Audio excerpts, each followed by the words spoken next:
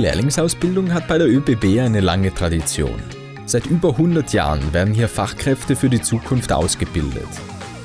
Am Standort Bludenz finden junge Menschen eine hochmoderne Lehrwerkstatt vor.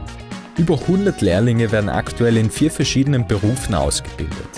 Maschinenbautechnik, Mechatronik und Automatisierungstechnik, Elektro- und Anlagenbetriebstechnik sowie Bürokaufmann und Frau. Die ÖBB ist eines der größten technischen Ausbildungsbetriebe. Das heißt, die ÖBB ist ein Riesenunternehmen mit 40.000 Mitarbeitern und hat natürlich sehr viel an technischen Materialien, die gewartet, die serviciert werden müssen. Und dazu haben wir 25 Lehrberufe bei der Bahn. Wir nehmen jährlich 650 Lehrlinge bei der ÖBB auf. Und in Bludenz, in der neuen Lehrwerkstätte, die 2020 gebaut wurde, haben wir über 100 Lehrlinge in vier verschiedenen Berufen. Zusätzlich können Lehrlinge nach dreieinhalb Jahren spezielle Module absolvieren, etwa in den Bereichen Sicherungstechnik, Telekommunikationstechnik oder Fahrzeugtechnik. Oder sich weiter qualifizieren, beispielsweise als Lokführerin oder Wagenmeisterin. Neben der fachlichen Ausbildung profitieren die Lehrlinge von zahlreichen Angeboten wie Sportprogrammen, Lehrlingsprämien und Auslandspraktika. Der Lehrling ist uns sehr wichtig, darum bieten wir dem Lehrling auch sehr Benefits an, wie zum Beispiel Gesundheitsprogramme. Wir machen mit dem Lehrling Fit for Work. Das heißt, in der Lehrwerkstätte während der Arbeitszeit darf der Lehrling mit einem Trainer zusammen Rückenupdate machen. Wie heben, tragen, wie verhalte ich mich bei Arbeiten, wie stehe ich richtig, bin ich gesund ernährt, wie gehe ich mit Geld um, wie äh, verhalte ich mich äh, Mobbing, Teammanagement und so weiter. Die ganzen Seminare werden hier während der Arbeitszeit gratis angeboten. Genauso bieten wir dem Lehrling Prämien an. Wenn er gute schulische Leistung hat, kriegt er bei uns äh, Gutscheine oder Sonderurlaub. Das heißt, diesen kann er dann, wenn er will, den Sonderurlaub selbstverständlich im Sommer zum Beispiel für längere Urlaubszeit genießen. Heute werfen wir einen genauen Blick auf die vier Ausbildungsberufe in Bludenz. In der Maschinenbautechnik werden die Lehrlinge in den ersten Jahren mit den Grundlagen der Metallbearbeitung und Montage vertraut gemacht. Äh, die Lehrlingsausbildung bei mir schaut so aus, dass die Lehrlinge einfach im September kommen, das neue erste Lehrjahr. Und nach der Kennenlerntag und der kleinen Eingewöhnungsphase fängt man natürlich gleich mit der Basics an, das sei Feilen, Sägen, Bohren und so weiter. Und dann gehen wir recht früh, nach so circa zwei bis drei Wochen schon an die Maschinen.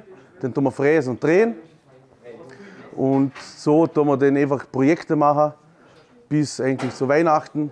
Danach kommt dann wieder kommt ein Inventorkurs dazu, Schweißen kommt dazu, Schleifen, weiter drehen, fräsen, immer vertiefen und so macht man eigentlich das gesamte erste Lehrjahr Projekte durch.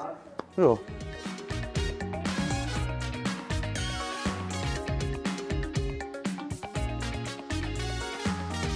Dann ist es also so, dass das erste Lehrjahr gleich im zweiten Monat aber kommt, Dreh- und Fräsausbildung macht, mit dem Ausbildner vom ersten Lehrjahr. Der Ausbildner, wo momentan Hund ist, äh, der geht in Unterrichtsraum 3D-Druck und Inventor. Äh, und so haben wir die halbe Gruppe vom ersten Lehrjahr 100. Die zweite Gruppe ist oberhalb in der Grundausbildung und macht ein Projekt, was Verschraubung, Sägen, Bohren und so weiter ist. Nach der intensiven Grundausbildung arbeiten die Lehrlinge zunehmend an realen Projekten. Das ist zum Beispiel ein Projekt, das die Lehrlinge dieses Jahr äh, gemacht haben. Das sind Signale, die man direkt bei der ÖBB im Gleisbetrieb verwendet. Die können entweder äh, für die Ausbildung von zukünftigen Lokführer verwendet werden oder für unsere Eisenbahnkunde direkt intern im Haus, weil unsere Lehrlinge, die gehen im dritten Lehrjahr im Gleisbereich also zum, im Rahmen der Ausbildung, eisenbahnspezifisch. Und das wäre natürlich super, weil ein Zug fährt nicht wie das Auto auf Sicht, sondern wir fahren nur auf Signale. Später geht es darum, hochspezialisierte Maschinen zu entwickeln und zu warten. Die Praxisnähe und das State-of-the-Art-Equipment, mit dem sie arbeiten, bieten viel Abwechslung. Ich bin mir noch nicht sicher, was ich machen will, aber wahrscheinlich werde ich bei der ÖBB bleiben, weil es mir jetzt schon brutal gut gefällt. Und wahrscheinlich, wahrscheinlich entweder sowas Richtung Master oder vielleicht Lehrlingsausbildender, wer weiß. Schon mal denn, wenn es soweit ist. Die Mechatronik verbindet Mechanik, Elektronik und Informatik. Lehrlinge in diesem Bereich arbeiten mit hochmodernen automatisierten Systemen, die in der Produktion eine Schlüsselrolle spielen. Also am interessantesten finde ich der Elektroteil. aber ich finde so trotzdem ziemlich cool mit der Maschine zum Arbeiten und selber Werkstücke oder funktionierende eigene Sachen wie ein Elektromotor zum Beispiel zum Bauen. Auch in der Mechatronik erhalten die Lehrlinge eine fundierte Ausbildung, die sie auf die Herausforderungen der modernen Technik vorbereitet. Die Verbindung von Theorie und Praxis sorgt für eine spannende und abwechslungsreiche Lehrzeit. Die Lehrausbildung bei mir ist ja so, wir sind im Prinzip in dem Raum dahinter, in dem Labor. Äh, wir machen dahinter wirklich die Steuerungstechnik, also das heißt Programmieren mit der SPS. Äh, wir haben jetzt da die SPS Siemens S7 1200er da und mit dem fangen wir dann halt auch programmieren. Zuerst grundsätzlich so kleine Dinge, so eine Ausschaltung und so weiter. Und dann geht es dann halt weiter nachher, nach dem zweiten Lehr, im dritten Lehr haben wir dann einen Block und im vierten Lehr. Und dort machen wir dann halt wirklich Projekte, also da stellen wir wirklich auch Anlagen. Je nachdem, wie es denn zeitlich ausgeht, wird es dann halt eine größere Anlage oder kleinere. Die Lehrlinge in der Elektro- und Anlagenbetriebstechnik lernen, elektrische Systeme zu installieren, zu warten und zu reparieren. Bei mir schaut es so aus, wir fangen mit der Grundschaltung mit der Schutzschaltung an. Von der einen aus bis Dauer, den Dauer-Tippbetrieb, den links-rechts, Sterndreieck und dann wird das immer weiter erweitert, wo ein Sicherheitsrelais gebaut wird zum Beispiel oder dann wird äh, Sensoren eingebaut und dann sollten so die Sensoren kennen wie induktiv, kapazitiv und so wird im Endeffekt immer die Schaltung größer und das, das Wissen eigentlich immer erweitert und es wird halt immer komplexer. Mit der Digitalisierung und der Energiewende sind diese Fachkräfte stark nachgefragt. Also wir versuchen wirklich immer so modern wie möglich und halt auch am Ball zu bleiben, dass wir am Markt auch immer mitreden können.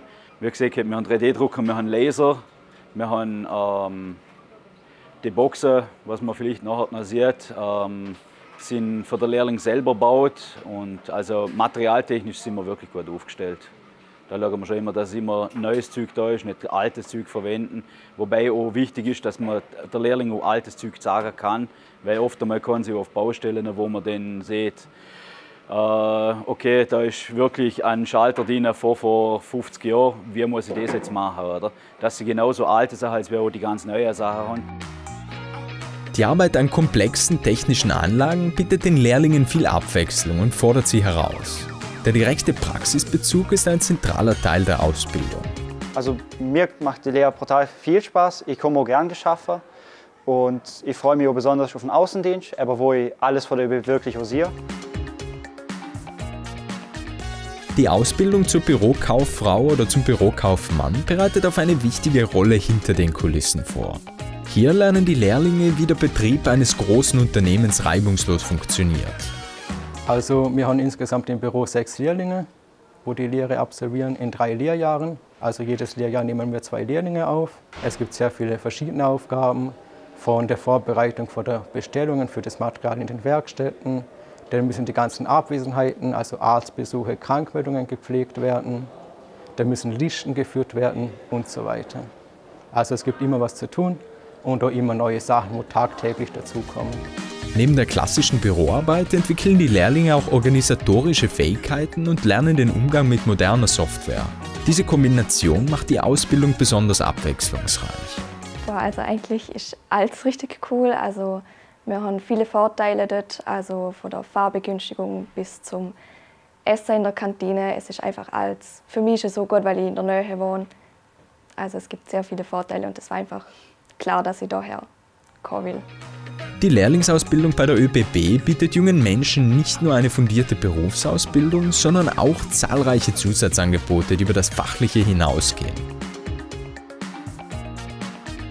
Diese tolle Lehrwerkstätte, wo wir da gebaut haben, 2020, kann jeder besichtigen kommen. Man muss sich nur anmelden bei uns und dann kann man eine Exkursion, werden die Berufe, das ÖBB, wie das abläuft, gezeigt. Also wir zeigen es auch gern Pensionisten, wir zeigen es auch gerne Schulen, auch einzelne Personen jederzeit Anruf. Ganz speziell dafür gibt es den Tag der offenen Tür.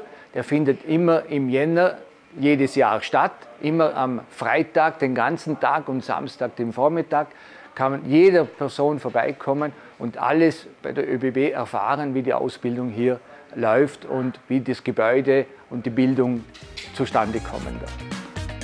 Ob in der Maschinenbautechnik, Mechatronik, Elektro- und Anlagenbetriebstechnik oder als Bürokaufmann oder Frau. Die ÖBB-Lehrlinge sind bestens auf die Zukunft vorbereitet.